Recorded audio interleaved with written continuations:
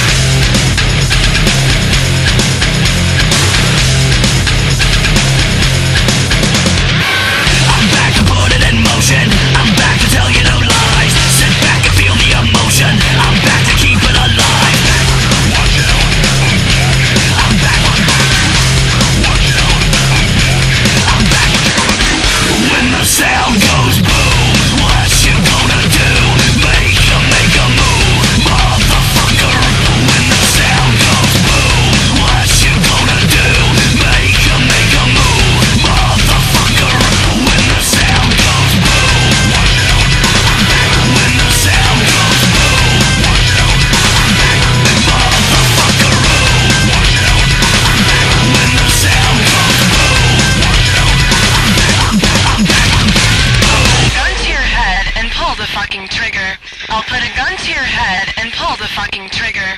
I'll put a gun to your head and pull the fucking trigger. I'll put a gun to your head and